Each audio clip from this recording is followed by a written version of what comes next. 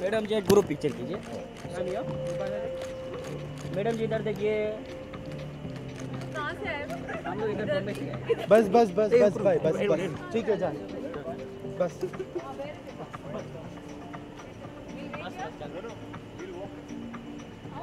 I